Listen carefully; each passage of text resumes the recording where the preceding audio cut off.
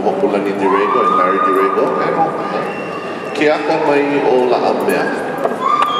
Hello.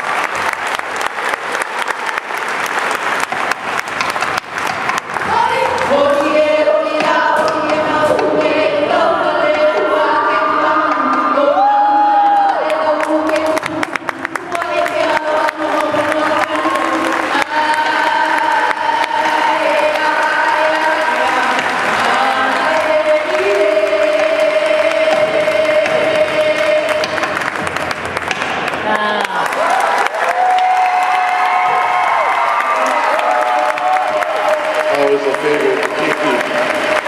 The Kiki Kanel.